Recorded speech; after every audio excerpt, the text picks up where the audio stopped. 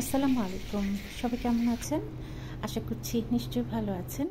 আজকে চিরা দিয়ে একটা নাস্তা বানাবো। তো চিরাটা আগে আমি ভিজিয়ে রেখেছিলাম। তারপরে কিছুক্ষণ ভিজিয়ে রেখে পানি থেকে চেপে চেপে নিয়ে নিয়েছি।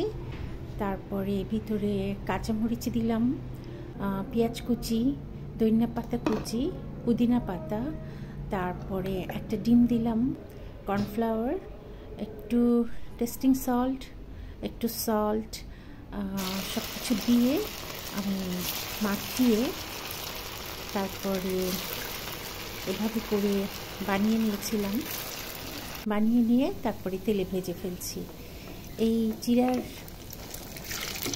নাস্তাটা খেতে খুবই মজা লাগে আর চট করা হয়ে যায়। এই তো আমি ভেজে ফেলছি। উল্টিয়ে উল্টিয়ে ভেজে ফেলতে হবে। অল্প জালে বেশি জাল দিলে আবার ভিতরে সিদ্ধ হবে না। তো সেই জন্য হালকা জালে ভেজে ফেলতে হবে। তো এই তো আমার চিরার নাস্তাটা হয়ে গেল। একটু চপের মতো।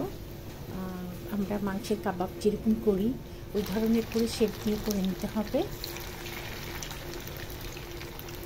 আমি আর কতগুলো দিয়ে ভেজে নিচ্ছি? এই তো হয়ে গেল আমার চিরা দিয়ে নাস্তা। তো এটা আপনারা বাসে ট্রাই করবেন যদি ভালো লাগে। আর ভিডিওটা যদি ভালো লাগে, আমার চ্যানেলটা সাবস্ক্রাইব করে রাখবেন। সবাই ভালো থাকবেন। আল্লাহ হাফেজ।